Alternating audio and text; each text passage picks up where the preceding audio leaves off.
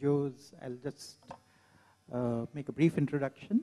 Uh, he, I found from his webpage that he began as a math school teacher in Ghana, and uh, then he went on to do his PhD uh, with Albert Meyer and uh, Gerald Sacks. And since then, he has been at IBM Research, at Stanford, and at Cornell. And he's visited a lot of other places. Uh, among the many honors that he has received, uh, one was the Gödel Prize way back in 1997, uh, then the, the Newell Award in 2008, the Dijkstra Award in 2009. So these are all in different areas. So he's worked in areas like distributed computing, he's worked in logic, he's worked in philosophy. Actually, if you look at his web page, you'll find a description of how he describes himself to an audience. So I'll leave you to look that up. Uh, today he's going to talk about game theory, where uh, Nash equilibrium has been a very standard concept, and he's going to talk about what lies beyond Nash equilibrium in the 21st century. Okay, so um, I'm slightly jet lagged, which will probably slow me down a bit, but if you want to slow me down even more, feel free to ask questions. Don't be polite, don't, don't wait till the end of the talk. Um, so this is really going to be a summary of, well, originally it was going to be three papers. My guess is it'll only be two papers or two lines of research given the time constraints, but let's see how it goes. Uh, they're quite disjoint, so if you fall asleep in the first part, you can wake up in the second part. Uh, so let me, I, am going to assume that this audience doesn't know anything about game theory. It would be nice if you did. Uh, so game theory looks at, at, at, games, but games think of them as strategic in, interactions. So beyond chess and poker, we want to think of bargaining, for example, as a game. Um, any interaction where, where I'm thinking, what are you doing? Why are you doing that? What should I do? What will you do if I do that? This kind of strategic reasoning, that's the subject of game theory. And game theorists focus on what they call solution concepts. Well, they claim predictions on how the, the game will be played. And perhaps the most famous solution concept is Nash equilibrium which was invented by John Nash. It was part of his PhD thesis in the 50s. He got the Nobel Prize for it. Those of you who've seen the movie A Beautiful Mind, that, that's the John Nash. Uh, so roughly speaking, a Nash equilibrium is a strategy profile. When I use the word profile, I mean one strategy for each of the players. And it's an equilibrium. Technically, it's a fixed point. The intuition is that we each follow our strategy and we're in equilibrium if nobody can do better by changing their strategy given what everybody else is doing. So imagine that you know what everybody else is doing. Even knowing what everybody else is doing, you have no temptation to change what you're doing. You're not going to improve your situation by changing what you're doing. Now, I should stress the Nash equilibrium is not necessarily a happy state of affairs. You might be very unhappy to find yourself in a Nash equilibrium. It's just that you can't individually do anything about it. You can't make yourself better off by changing your strategy. So in, in a precise sense, it really is a fixed point. For mathematicians in the audience, Nash proved the existence of Nash equilibria by using Brouwer's fixed point theorem. So, um, so as I said, Nash proved that every finite game has a Nash equilibrium if we allow mixing, if we allow randomization. Uh, again, for mathematicians, the randomization gives you some continuity, so you can apply fixed point theorems. So when I say randomization, I'm allowed to use a strategy that says with probability a half I'll go left, with probability a half I'll go right. Now, Nash equilibrium in some situations predicts very well what people do. This seems to work particularly well in, in the biology setting. And as I said, it's good that, that every game has a Nash equilibrium. But there's lots of well-known problems with Nash. Uh, in some games, it gives extremely unreasonable answers. And one example that I'll come back to is repeated prisoner's dilemma. But there are lots of other problems. So we're about to start playing a game. Well, Nash equilibrium says it's a situation where nobody does better given what everybody else is doing. But I have no idea what you're doing. Right? We're playing the game for the first time. I've never met any of you. How do I know what you're doing? So in general, a game can have multiple Nash equilibria. So even if I'm a game theorist and believe that ultimately we'll end up in a Nash equilibrium, if there are many at Nash equilibria, how am I supposed to know which one we're going to play? I've, I've never played the game before, right? Why would an agent assume that other players are going to, in fact, play their part of a Nash equilibrium? It's not necessarily a good thing to play a Nash equilibrium. So look, game theorists are well aware of these problems. And in the game theory literature, there have been probably at this point hundreds of alternative solution concepts, some of which are refinements of Nash equilibrium. By refinement, I mean that every one of the instances of these solution concepts is a Nash equilibrium, but they sort of cut out some Nash equilibria. Some of them are just different. Uh, here are a bunch of names. Don't even try to memorize them because I'm not going to use them at all in the talk. Uh, because none of them address the situations I want to focus on. So the situations I'm interested in are inspired by computer science, although they could perfectly well have been done by game theorists two decades ago. They don't need computer science in any deep sense. Uh, but so one topic I want to look at generally is, is that Nash equilibrium isn't robust. So roughly speaking, Nash equilibrium assumes that everybody is rational. Why should I assume that everybody is rational? Why is that reasonable? Um, so I want to talk about dealing with faulty or unexpected behavior. Uh, Nash equilibrium doesn't deal with coalitions. So remember when I said uh, a, a strategy profiles Nash equilibrium, if no individual player can do better by deviating. But it's perfectly consistent that you have a Nash equilibrium, and Kamal and I could get together, and I say, Kamal, look, we're friends, let's both deviate. And we could both do much better, right? So a Nash equilibrium says no individual can do better. It says nothing about a coalition of players getting together. Perhaps they can do much better. A Nash equilibrium doesn't take computation into account at all. And I'll make that precise later. And obviously, you know, people are computationally limited. How can we deal with that? Nash equilibrium assumes that the game is common knowledge. By that I mean that everybody knows that you can move left. Everybody knows everybody knows that, and everybody knows everybody knows everybody knows that. Well, of course, in real life, games aren't necessarily common knowledge. Uh, when terrorists flew a plane into the World Trade Center, think of that as a move in a game. But unfortunately, not everybody was aware that that was a possible move in the game. Some people were. Some people had warned about things like that before. Uh, to take perhaps a less politically correct example, um, think of the Americans uh, setting off an atomic bomb in World War II. Right? Again, that was a move in the game and certainly many in Japan were not aware that that was a possible move in the game.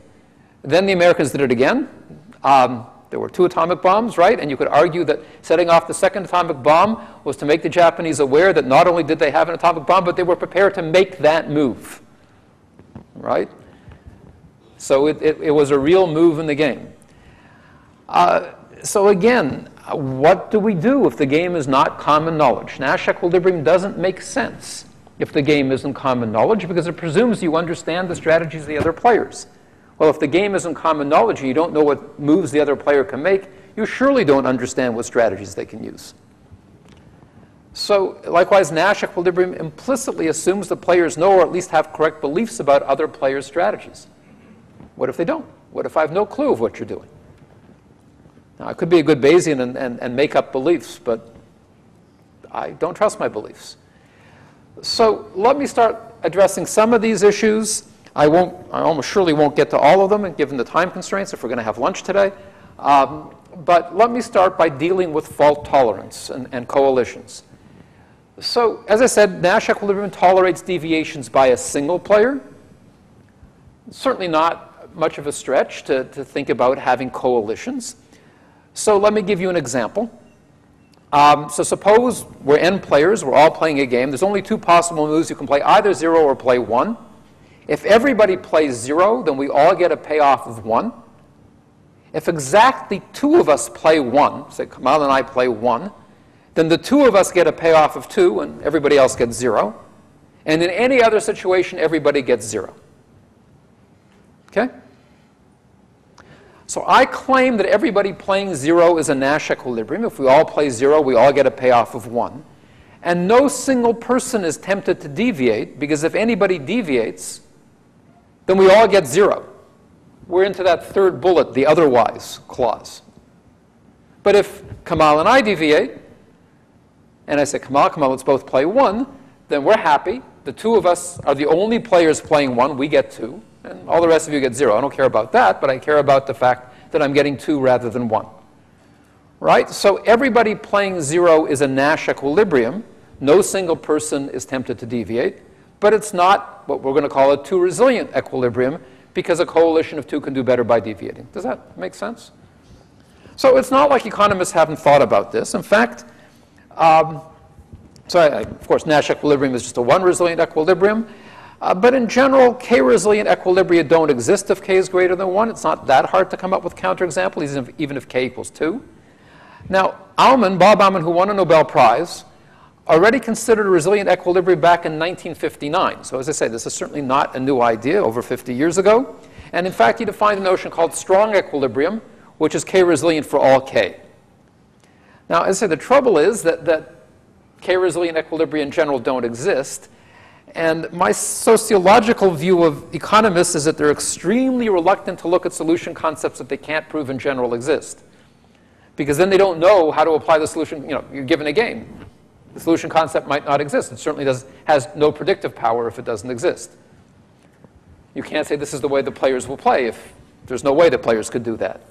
Nevertheless, I claim it's interesting to look at these things, but I want to look beyond k-resilience, so let me tell you where uh, I'm going. I, I, want to take into account resilience and coalitions, but I want to go beyond that. So I want to take into account possibly, let me say, irrational players, although I don't necessarily mean that they're irrational. Um, so let me give you some examples of, of, what I have in mind. Well, maybe the, the best example is, is um, um, I teach a large discrete math class quite often, and I tell my students they should all do their homework. You would be irrational not to do your homework because if you do your homework, it counts for 25% of the grade. Easy 25%. You shouldn't pass up on that. Plus, if you do your homework, you'll do much better on, on the exam because you'll learn the material, right? So, of course, all rational students should do their homework. And of course, every year I find uh, some small number of students don't do their homework quite consistently, right? Um, now, you could argue that my students are irrational, and, and indeed, at times I believe that they're irrational. Um, uh, but you could also say, look, they just have different utilities from what I expect.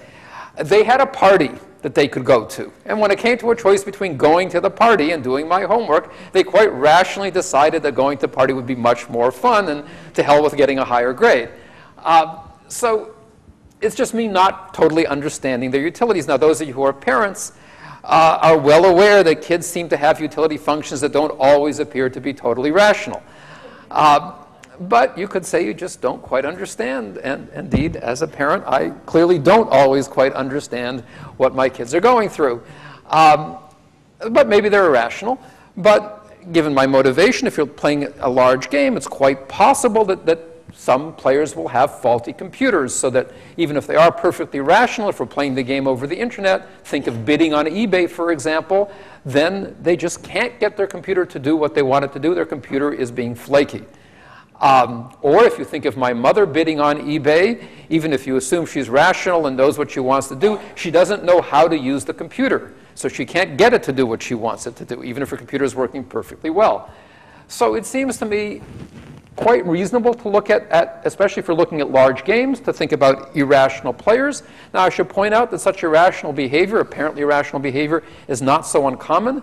So I, I imagine many of you have heard of uh, peer-to-peer file sharing networks. Think of BitTorrent, Gnutella, Kazaa. Um, now, you might say, well, um, why? I, I, can understand why you'd want to download mu music and movies.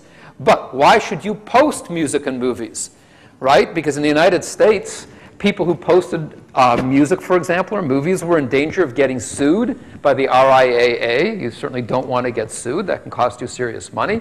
And even if you're not going to get sued, somebody downloading a bunch of stuff off of your server will tie up your server and, and, and you know, cause other applications you have running to slow down.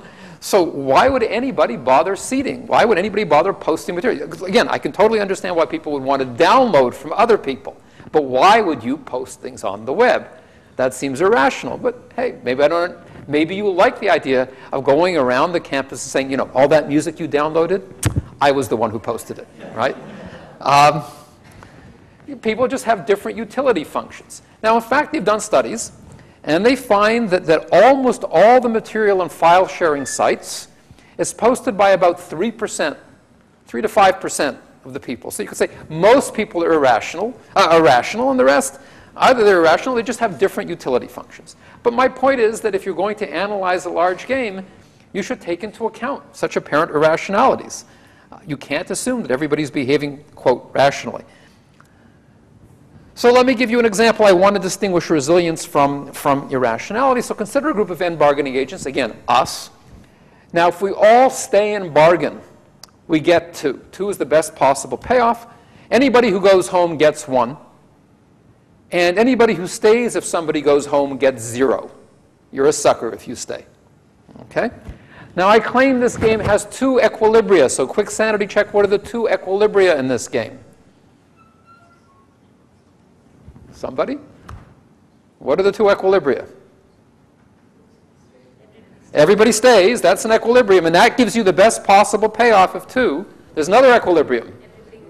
Everybody goes home. Well, um, if you're playing a game with 100,000 people, are you going to stay? Are you going to count on everybody else staying? Right? So I'm going to say that, let me point out that everybody staying is a k-resilient equilibrium for all k. No group of size k for any k has any incentive to deviate, because if you all stay, you get a payoff of 2, and that's the best possible payoff. You can't do better by deviating, right? On the other hand, it's not a very, let me use the word, robust equilibrium. All it takes is one irrational player to go home, and all the suckers who stayed get zero. Right? So it seems to me quite reasonable. I, again, I should say that our motivation for this, so let me give you a little bit of history, because uh, it'll come up, um, is, well, okay, uh, this is somewhat like work in Byzantine agreement, distributed computing, those who are familiar with that. So distributed computing looks at the problem of reaching agreement in the presence of faulty agents. So let me say a little bit about, about sociology and history. So if you stand back a few yards or a few meters, depending on where you're from, uh, the work in distributed computing and work in game theory really are very close. Both of them look at interactions with large groups of agents. Okay, game theory tends to focus on humans, distributed computing tends to focus on computers, but nevertheless, it's interactions among a large group of agents. And both are concerned with deviant behavior. In the case of game theory, the assumption is that everybody is rational and your deviating deviation would be irrational. You would hope in an equilibrium that no rational agent would, would deviate. In the case of distributed computing, the, you know, these are computers, after all. Rational and irrational were not words that were tended to be applied to computers.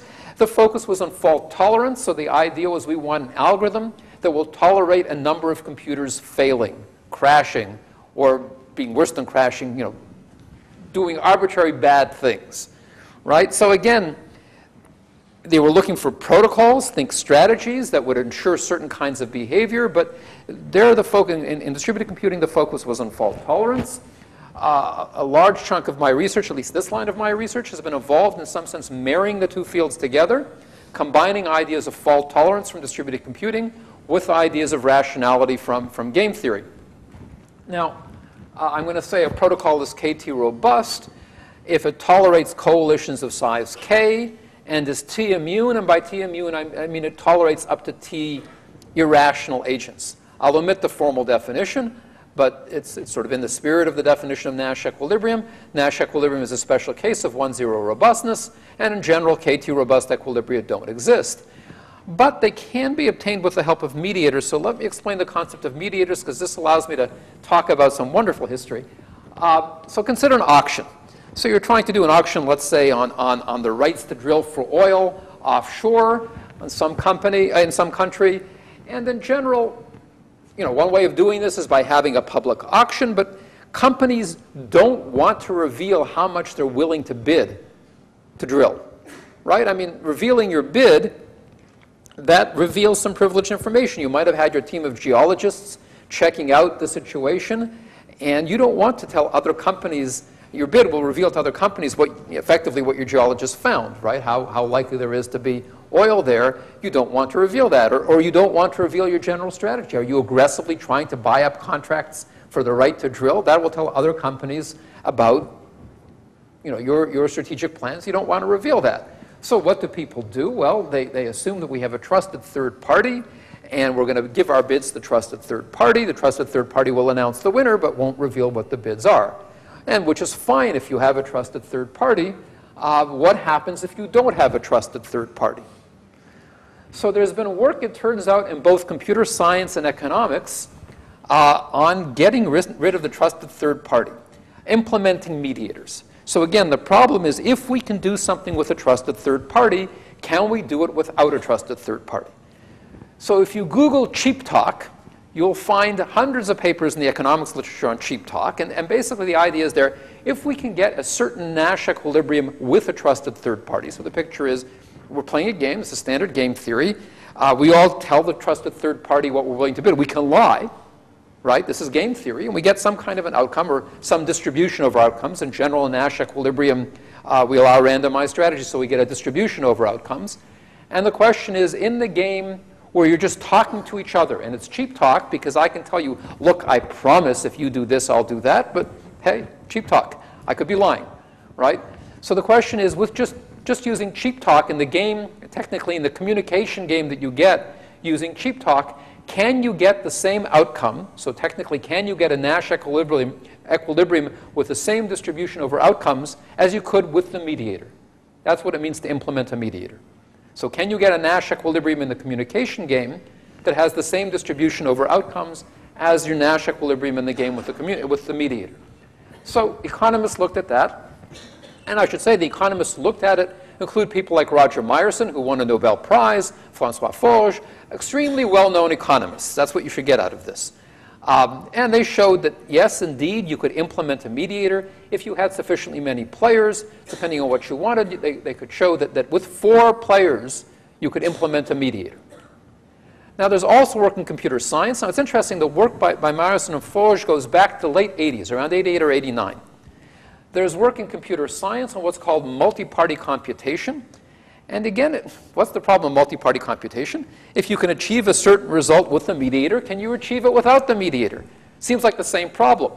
The only difference is that, that in the multi-party communication literature, the focus was on fault tolerance. If you can achieve a certain result with a trusted third party, can you achieve it without a trusted third party just by communicating?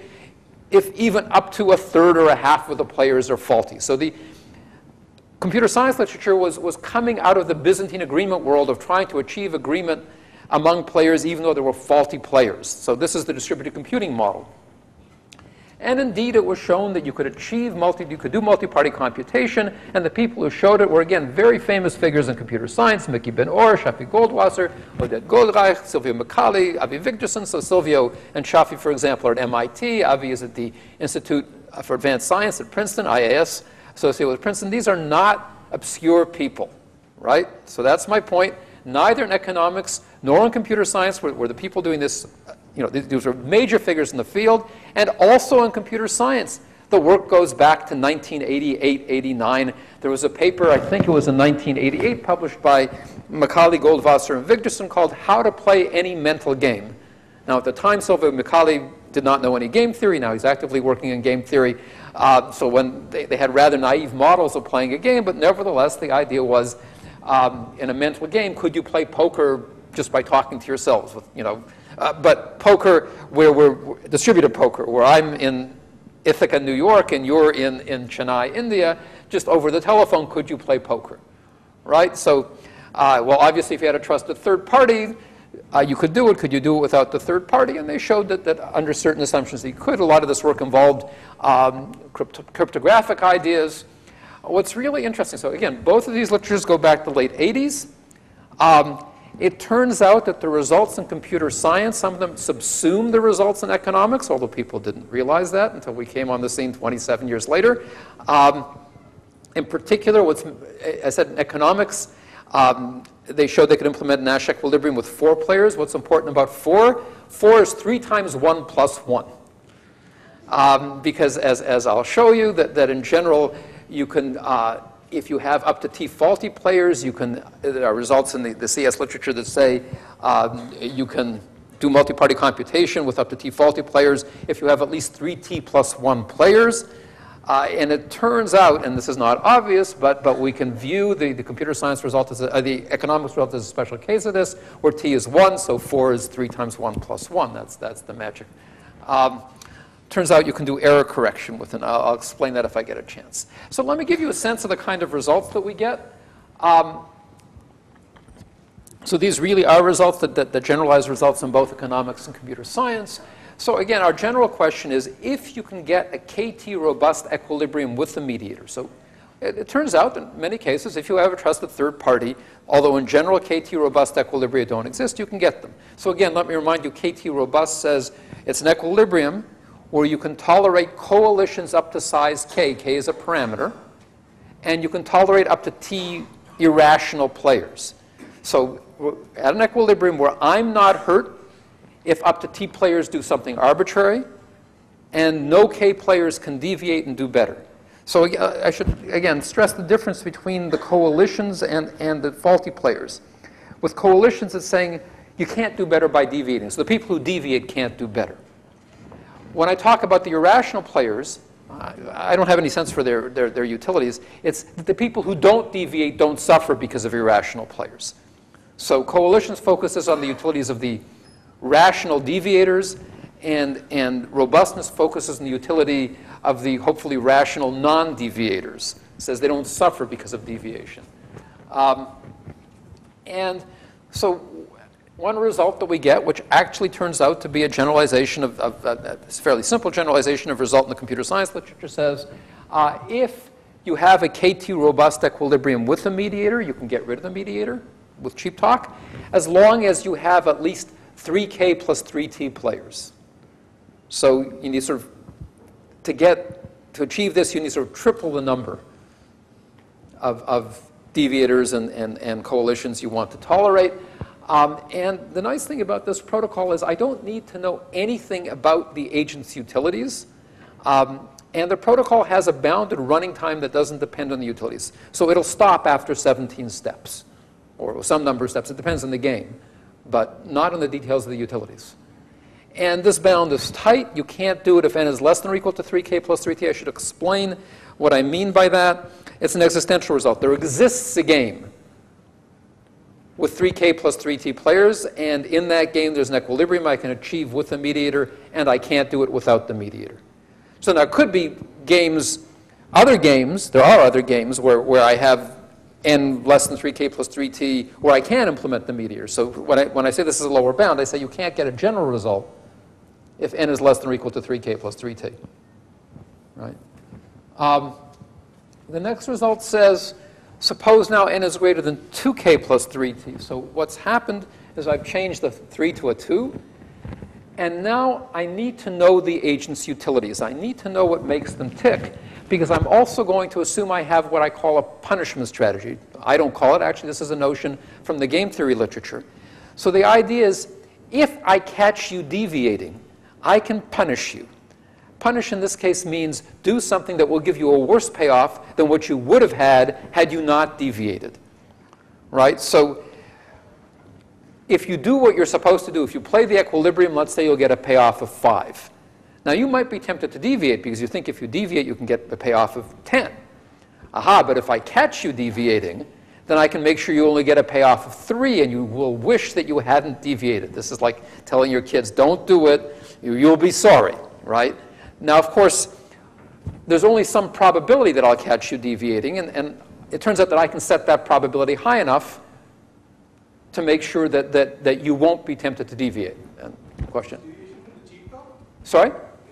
Deviation from the cheap talk. So the idea is going to be that if I have if I have a strategy that works with the trusted third party, then I can get rid of the trusted third party. I can implement the trusted third party using cheap talk, provided n is greater than 2k plus 3t. But I need to know the agent's utilities, and I need to have this punishment strategy. And again, this bound is tight. So what I meant was, there is a cheap talk. Sorry? You say something, there's a cheap talk. Right. And then you do something else which is in opposition to what you say. So is the punishment related to that? Or is Oh, I see. Uh, it's, it's, it's more complicated than that. So um, the cheap talk doesn't involve saying much, much more than what you said. The cheap talk will involve uh, sending encryption keys and doing all sorts of things. So it's not, the cheap talk is as simple as saying, trust me, I'll go left, right?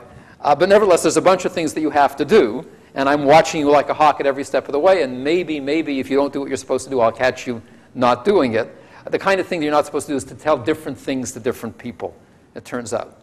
So if I can discover that you haven't said the same, you know, the things you were supposed to say to different people, uh, then I'll punish you. But, but as I say, it's, it's not as simple as the kinds of things you say is, trust me, trust me, I'm going to go left. It, it's, it's more complicated than that. So I- it is a choice space for each individual again binary zero one. or is it- Uh, no, it turns out there's a message space. So what they're doing in, in, in, in the communication game is they're sending messages. Now, the set of messages is known and, can be taken to be finite. It's still a finite. It's a finite space. It can be taken to be a finite space. Then the decision is made only when everybody announces their choice. Is that correct? Again, it's more complicated than that. So there's a protocol where we're sending each other messages. Uh, at the end of the day, we're making a decision. That's true. Um, at, at the end of the protocol, we're making a decision. It turns out that the way we make the decision um, in, involves um, uh, it, it involves finding a zero of a polynomial. So, I mean, the, the f of zero encodes the decision, it turns out. So, But the utility function for every individual is going to be a function of the choice of all the. yes, so in general, my utility will depend on the whole tuple of choices made, not just mine. So I can't compute mine unless everybody's. Uh, Well, you won't necessarily know everybody's, what everybody, you might know what they're supposed to do or what the, they will, I mean, at the end of the day, you're going to compute your choice. Um, without exactly knowing what everybody else is going to do, but your choice will be your part of the Nash equilibrium. Now, again, this equilibrium might be randomized so that, that what you end up doing, um, you'll end up you know, playing left with a, probably a third and right with probably two thirds, but, but again, you'll know what you're supposed to do. So if you follow the protocol, you'll be playing your part of the equilibrium. Uh, just a few other results that, that um, if we, up to now, I've assumed we just have point-to-point communication. If we have a broadcast facility, you can do better. If n is greater than 2k plus 2t, you can implement the mediator, or you can epsilon implement. You can't quite, there's a small probability of error.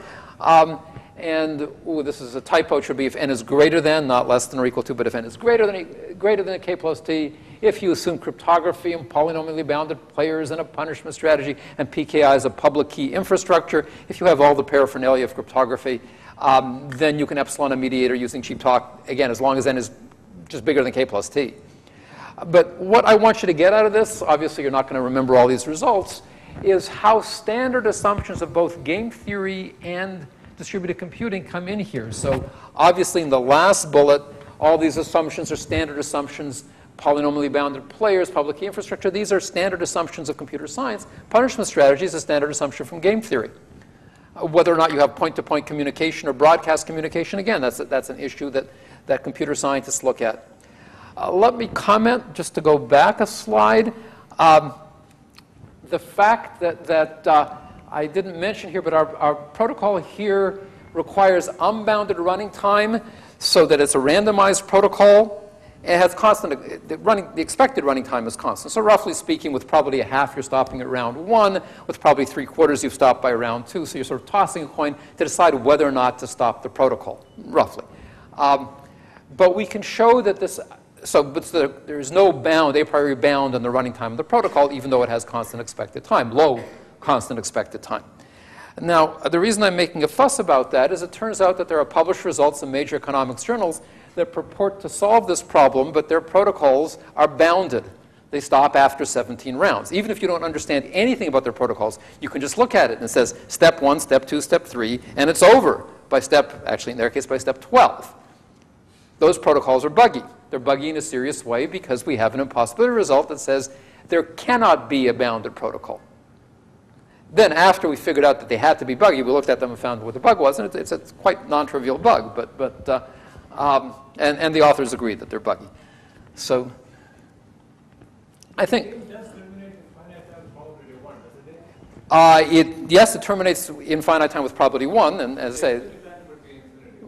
but uh, no, and the expected time is finite. It's constant expected time, but there's just no a priori bound on, on the running time, right? So I, you can't say that. You can't say with probability one it'll, it'll terminate after 17 rounds. You can certainly say with probability one it'll terminate in finite time. Not all say it, it's true. Uh, so I, I think the bottom line here is that, that you need to take into account solution. You want to take into account solution concepts that take coalitions and fault tolerance seriously. But there are other ideas that, I'll, I'll, well, let me defer to the end. Um, let me switch gears now and just talk about something totally different. So if you found that boring or you fell asleep, now's the time to wake up again. You'll have another chance, uh, starting over from square zero. Um, let me talk about costly computation. Sure. Uh, sure. Yeah. Um, In the multi-party case, uh, we don't make any assumptions of the bad guy, right? So Nope. there's no rationality assumption. Nope. Uh, Right. on the game theory side, there are rationality assumptions. Uh, only when I talk, about, so remember, I'm talking about KT robust protocols. So the K part, the coalitions, I'm assuming the coalitions are, everybody in the coalition is rational. You wouldn't deviate unless you were rational. Uh, in the T part, uh, these are irrational players I, I don't make any assumptions about. As you'll, if, when I write the formal definition, there are no assumptions made about, about their rationality. Uh, so it's not obvious. But in fact, uh, the, the result, the first result really is, really does follow fairly, well, with, with not that much work from, from a result by Ben-Or, Goldwasser, and Wigderson. Um, so even though their paper didn't talk about rationality at all, at all it nevertheless, it, it, it's not only is it their technique, but, but you can almost, if you do it right, you can use their result as a black box and say, that's good enough. One more thing, Uh, sure. can we also show existence for a particular case of K and T? Existence of equilibrium? Oh, uh, Equilibrium. Uh, So I, I- that, um, so all our results are saying if the, if there is a protocol with a mediator, there, there is a protocol without a mediator, they're always relative, um, and, and our proof is constructive. Of course, we give the protocol. Uh, So are you asking, do we know that there exists a protocol with a mediator? That's completely game dependent. So that, that it would be really interesting to say, is there a class of games for which you're guaranteed to have a protocol with a mediator? Great question, and I have no idea. So, um, so I mean, in general, we know it can't be done because we know there's going to be games that don't have any KT robust equilibriums. There couldn't have been a game with a mediator that would give you this, right? Um, but uh, for when it can be done, uh, there's no understanding, I think, no, no generic, un- you know, no kind of results to say this, here's a large class of games for which is guaranteed to work. It's a good question. And the punishment is applied both to the uh, irrational guys and to the collaborators. It turns out that the punishment is applied to everybody. And um, so you could say, is this what, what economists call um, a sequential equilibrium? Would a rational player be willing to apply the punishment? With a few extra assumptions, we can even show that, that, that yes, it's rational to apply the punishment. But uh, um, uh, get me at lunch and I'll, I'll say more about that. Okay, so let me switch gears. So the first part was joint work with, with Danny Dolev, Ittai Abraham, uh, and part of it with Ike Gonen. Uh, this part is, is, is joint with my colleague Rafael Pass. Um, so making computation costly. So you're given, a, here's an example of what we have in mind. Uh, you're given an n-bit number. Think of n as like 100 or 150. Uh, you have three choices. You can guess whether it's prime. You can say it's prime. You can say it's not prime. You can say I pass. Now, if you say prime or not prime, uh, if you get the right answer, you get a high payoff. So let me say you get $10. But of course, if you get the wrong answer, you get a low payoff. Let me say you lose $10. But the numbers don't matter. Uh, the point is, if you pass, you can play safe and you can get a dollar no matter what. Now, there's exactly one Nash equilibrium in this game. This is a one player game. Uh, there's exactly one Nash equilibrium in this game, and that's give the right answer. Because if you're not giving the right answer, you should deviate and give the right answer. Right? And, and at this point, you should not be happy. Uh, but never, I mean, so certainly what I'm saying is technically true, but, but of course, uh, in real life, people, you know, I give you 150 digit number of string of zeros and ones and say, is it prime? And if you, if you were playing this game, I would bet that almost all of you would say, uh, I pass, give me my dollar. Right? Yes, for those of you who are going to tell me, yes, I know primalities in polynomial time, um, and yes, I know there are fast randomized algorithms. I I know these things, but I'm not carrying around my computer when I play the game. So as far as I'm concerned, testing for primality is a very hard problem. Um, that uh, clearly what's wrong with this is it's not taking the cost of computing the answer into account. And, and again, I'm not saying anything that economists haven't thought about for a long time. Um, and, and in fact, um, the notion of making computation cost part of the equilibrium um, goes back to Ariel Rubinstein in 1985. And what we're doing is, in fact, a generalization of what he did. I mean, what he did is he used finite automata. So he assumed the players, instead of actually framework, we, we consider what, what economists call Bayesian games. So let me explain. In a Bayesian game, each agent has a type. Think of the type as private information. So your type might say uh, whether you're lazy or industrious. Uh, The type is something that you know. So, I mean, canonical example in, in, in, the game theory literature, we have a market where there's a lot of workers who are either lazy or industrious. That's their type. Um, and there's an employer. The workers know whether or not they're lazy or industrious. The employer, given a random worker, doesn't know whether he's lazy or industrious. But it's assumed that there's a commonly known distribution over types. So the employer might know 75% of people are lazy, right? So that, that's known. So he doesn't know about any particular individual, whether they're lazy or, or, or, industrious, but he does know the, the, the, probability that a random individual is lazy or industrious. In general, there's, there's a commonly known distribution over types. So in our setting, we have exactly that setting. Um, we assume that agents don't choose a finite automaton, but they choose a Turing machine. Again, even if you're not a computer scientist, it's just a model of computation. The details don't matter. Think of a Turing machine as, as, as a computer algorithm. And associated with each Turing machine, M and type T, that pair, M and T, is its complexity. And the way you should think of complexity is just a measure, it's an abstract measure. It could be, for example, the running time of the Turing machine. So think of the type as the input to the Turing machine. So the complexity of MT could be the running time of the Turing machine on that input. It could be the space used by the Turing machine on that input. It could be the number of random bits used. I, I can charge you for randomizing. Um, by the Turing machine on that input. It could be input independent, and it could just say, how many states does your Turing machine have? That would be close to the Rubinstein model. So just think of the complexity of MT as just some abstract measure of how much computation is involved in computing the answer when, when Turing machine M is given input T. Okay? Is it type distribution over the agent's IID? Uh, not necessarily.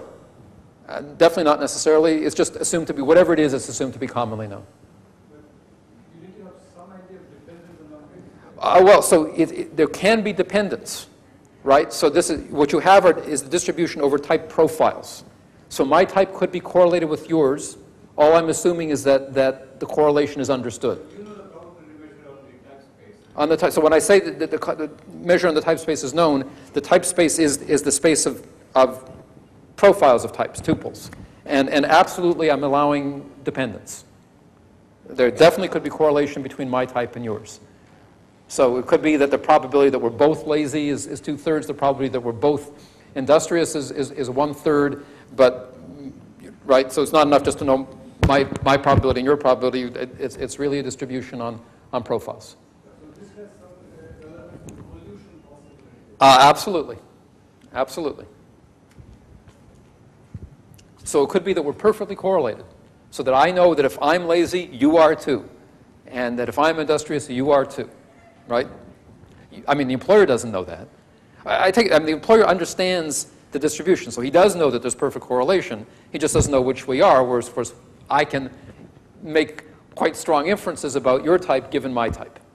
Right? That's absolutely allowed.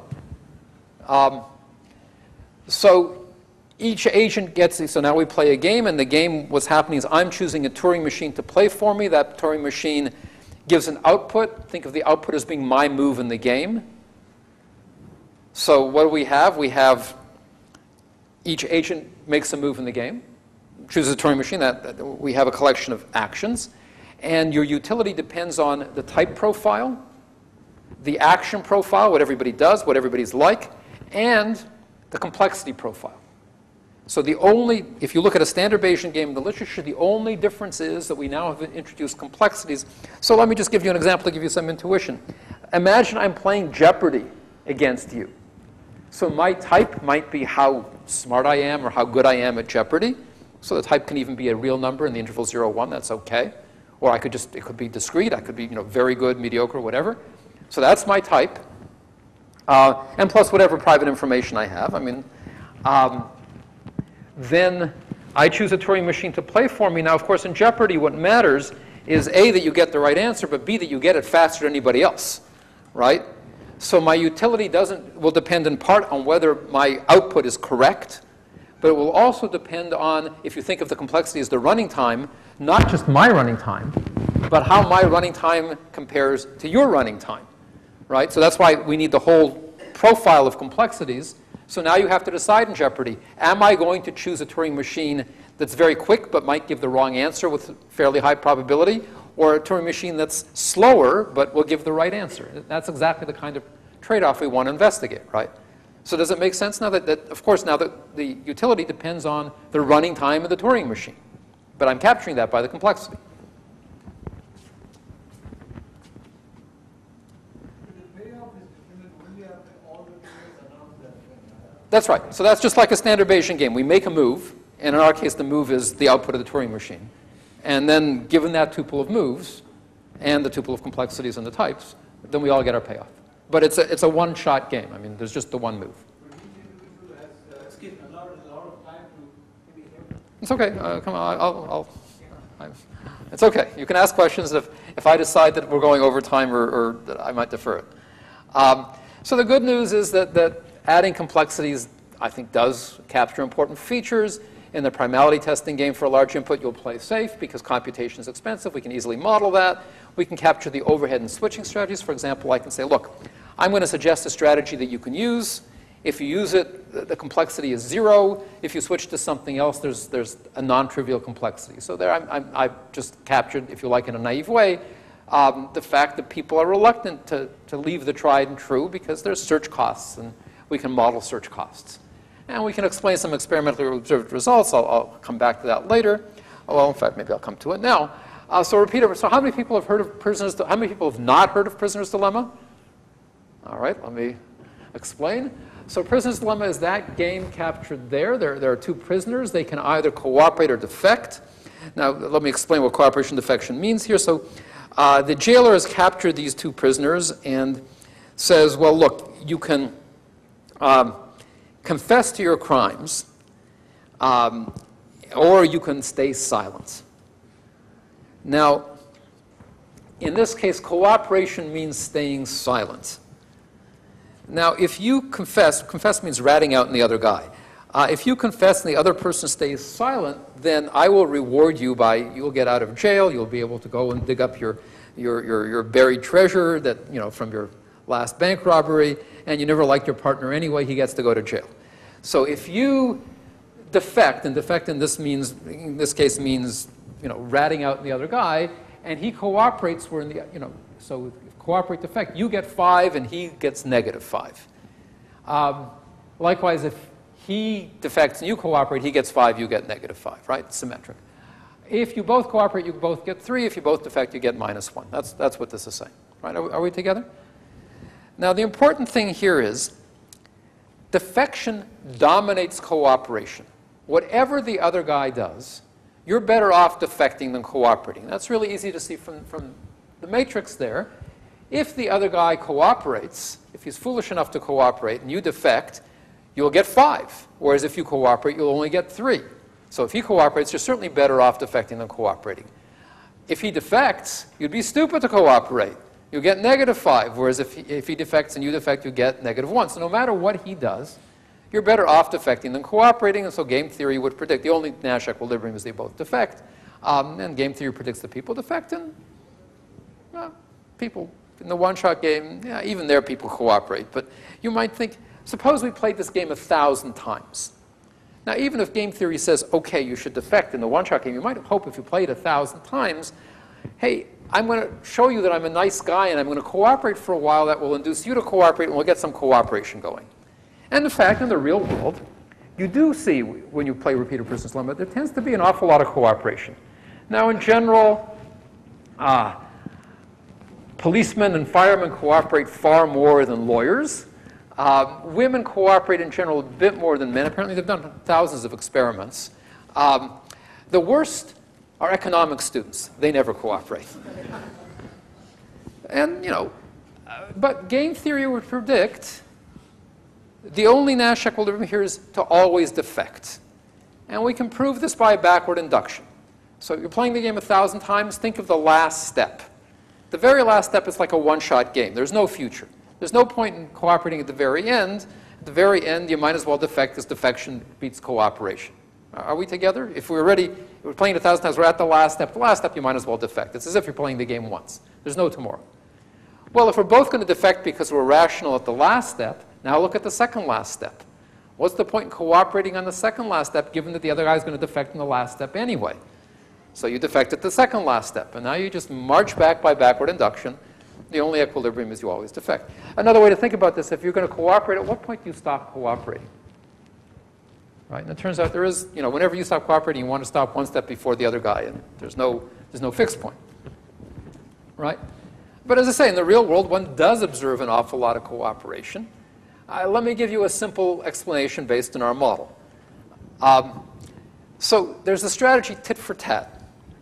Tit for tat says start by cooperating and then defect as soon as you see the other guy defecting. Right? So I'm going to assume you're a nice guy, I'm going to cooperate. And as long as you're nice, I'm going to be nice. But if you defect, then the next move, I'm going to defect. In fact, let's even make you defect forever. Right? So if you ever deviate, if you ever defect, that's it. No more, I don't trust you anymore, I'm just going to defect. Okay? That's tit for tat. Suppose I'm playing tit for tat. What's your best response? We're doing it a thousand times. I'm playing, I promise you, I've, I've written a program, I'm playing for tit for tat. I went home. I'm playing tit for tat, you know for sure. What's your best response? Sorry? To cooperate all the way? Sorry? Tit for tat. Uh, tit for tat, uh, you can do a bit better. If, you, if we both play tit for tat, then we'll, we'll cooperate all the way. That's the effect, because we start out cooperating and then we'll continue cooperating. You can do a bit better than that. So I'm playing tit for tat. How can you maximize your payoff? You do want to cooperate a lot. Uh, somebody? Defect at the last step. You cooperate up to the very end, and then the end, you defect. Because, of course, at that point, it's too late for me to punish you right? I'm always one step behind you, but if you're defecting at the very last step, well, I can't punish you tomorrow. There is no tomorrow. Are we together? It's actually not hard to show that, that, that the best response to tit for tat is to defect at the last step. Of course, the best response to somebody defecting at the last step is to defect at the second last step and we're marching backwards. But if you know for sure I'm playing tit for tat, then you should defect the last. step. Remember, your only goal is to maximize. It's anonymous. You'll never see me again. So you shouldn't think about concerns like, I'm going to feel bad if you defect right? That, that's, that's not supposed to be, this is game theory, right? Um, I mean, that, that's a serious problem, actually, but let's, let's ignore that. Your goal is just to maximize your payoff. You want to feed your children, right? Um, okay, but now we're playing a thousand times. To defect at the last step, you have to count to a thousand. You have to keep track of what step we're on. You don't want to defect at the third last step because that, then actually you're worse off. Because then I'll just defect for the last two steps and, and, and you know, you, you want to cooperate up to the very end and then defect, but that requires that you count. Now, if I charge you, for, lots of ways of doing it here. I have a discount factor. Let's not even worry about that. I mean, all, the only point here is once you, once you understand that, you can say, okay, once I introduce complexity, there is a cost to counting to 1,000. That takes a certain amount of storage, a certain number of states, however you, you choose to model it. Um, right? So playing tit for tat is very simple computationally. All you have to keep track of is what the other guy did at the last step and just repeat that. That takes one state, basically. Right? But counting to a 1,000, that requires some effort. Right? Now, um, and, and so that if there's a cost to computation, then the best response to tit for tat is tit for tat. So in fact, both players playing tit for tat is an equilibrium if you have a cost for computation. Indeed, if you have a cost for computation and I don't, you should still play tit for tat and let me defect at the last step. Right? I mean, what you lose, you're still way better off than, than, than both of us defecting. It's still an equilibrium. So this is actually testable. I'm not by me, because I mean, but, but uh, I mean, the idea, you know, you might ask, suppose you were going to play Prisoner's Dilemma. Would there be a difference? I mean, the naive experiment, which is a bad experiment, would be something like if there were a counter ticking down. And so you could see there are five steps left to go, four steps left to go, and so on. Um, would that make a difference? As opposed to a situation where there was no counter. Now, that's a bad experiment because having the counter makes the number of rounds salient, and, and so you might not have been thinking of the number of rounds, and having the counter will make you think of it. So, but it would seem to me that a good experimentalist might be able to come up with an experiment to distinguish a situation with where you had where you didn't have to compute when the last round was from one where you did, right, without making the round salient. Let me make one other point and then I'll quit. So in general, in our computational framework, Nash equilibrium might not exist. Uh, let me give you a counterexample, which is cute. So the game of rock, paper, scissors, sometimes called Rochambeau, right? So you, does anybody not know rock, paper, scissors? Right? Paper beats rock, rock beats scissors, rock beats scissors, and scissors beat paper, right? Um, so there is a unique equilibrium in standard game theory where you randomize one third, one third, one third, right? Um, but I'm going to do rock, paper, scissors where I'm going to charge you for randomizing. So my complexity function says, okay, if you use a, a deterministic strategy, that's free. If you use a randomized strategy, I'm going to charge you epsilon. I don't care what epsilon is. Epsilon is greater than zero. So your payoff, so let's say you get a payoff of 1 if you win, negative 1 if you lose, and 0 if you tie, minus epsilon if you choose a randomized strategy. So if you randomize, you get 1 minus epsilon if you win, and, and negative epsilon if you lose, and so on. Are, are we together? But how do you know that randomized? You're choosing a Turing machine.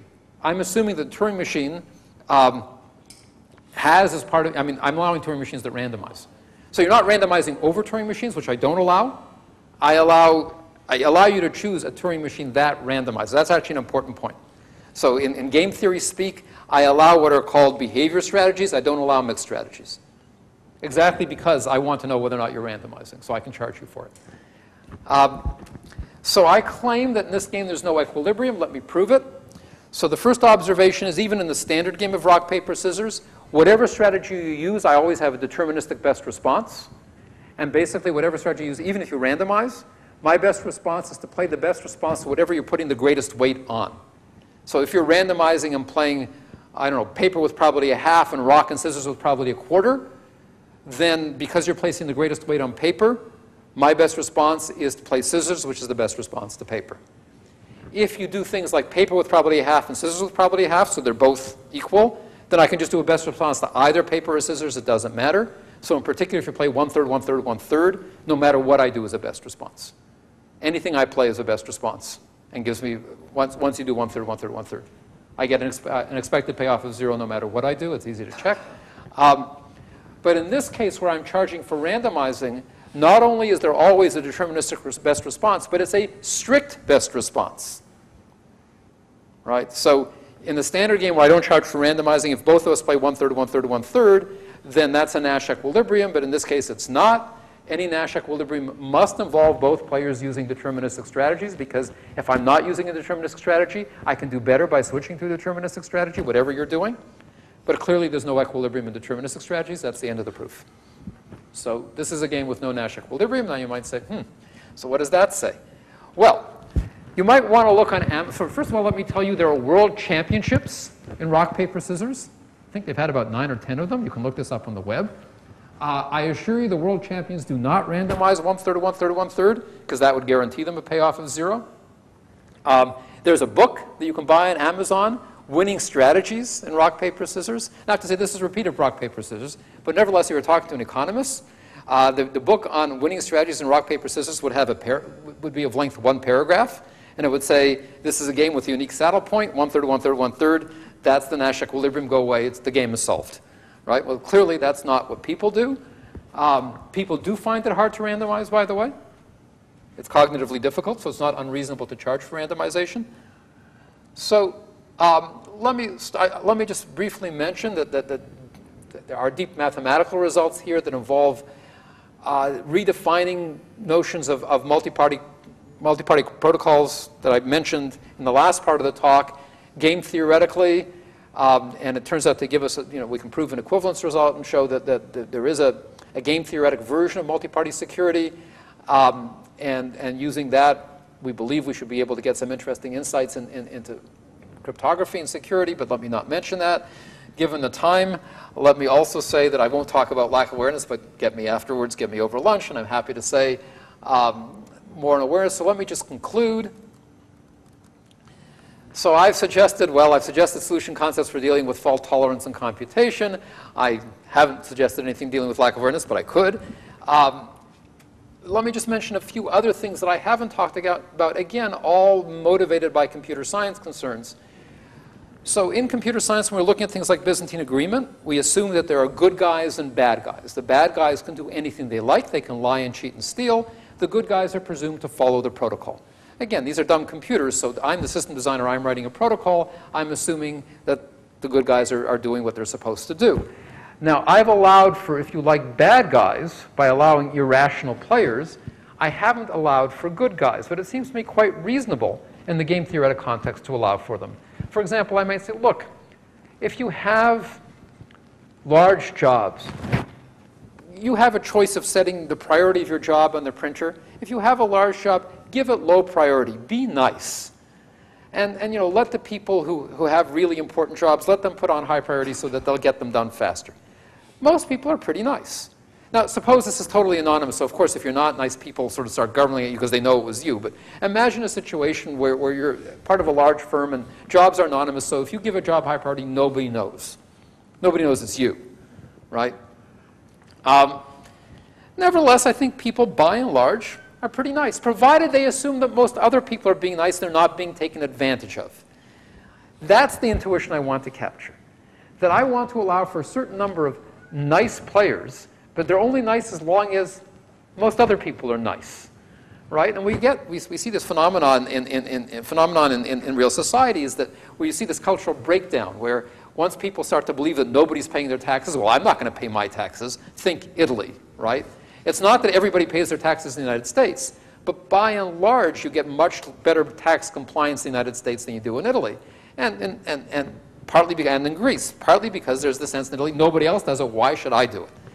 I claim there's some interesting game theory going on here that, that, that needs to be captured, and, and so that there is this notion of there are good guys as well as bad guys. Can we capture that in some reasonable solution concept? There has been preliminary work by Lorenzo Alvisi and his co colleagues. I'm not happy with their approach, but at least it's an attempt. Um, I think it makes sense to think about known deviations in certain contexts. So I have a paper where we look at scrip systems, which are games with virtual money. And in such systems, even though it's irrational, there's no benefit to stuffing money under your mattress. Real people do. We have hoarders. Uh, this is, if you like, a known irrationality. So rather than allowing arbitrary irrational behavior, can we sort of study games where there are certain understood kinds of irrational behavior? Uh, switching gears in distributed computing, there's a lot of work on asynchrony. We, you know, the default assumption is that a system is asynchronous. There's no clock ticking in the background. The default assumption in game theory, um, implicit, because it's never made explicit, is that the system is synchronous. We all go in rounds. There's round one, round two, round three. But hey, wait a minute. Where's the clock coming from? In real markets, real markets are asynchronous. There's no clock. It's well known in distributed computing that asynchrony can have a major impact in algorithms. Lots of things are, can be done in the synchronous setting that can't be done in the asynchronous setting. All the results that I proved on implementing mediators assume synchrony. It seems much harder to get results like that in the asynchronous setting, and I don't think the, the bounds are going to be correct in the asynchronous setting. So I think more generally, it would be good if, if game theorists thought about issues like asynchrony. Um, it's a big deal in computer science. Uh, I talked about equilibria with, with, with, with, computation. I was looking at Bayesian games. Uh, game theorists also look at what are called extensive form games. Think about game trees. There you can imagine the computation is going on during the game. That should change things a lot. I haven't quite understood how, but we're working on it. So I think there are lots of other issues. I've just barely scratched the surface. I think the, the one message I want you to take from this talk is that there's a bunch of computer science concerns that make perfect sense in the context of game theory. Uh, they lead to quite interesting technical questions, and I think lead to questions that, that make a lot of sense if you think about real world settings of, of playing games. And with that, let me stop so we can have lunch.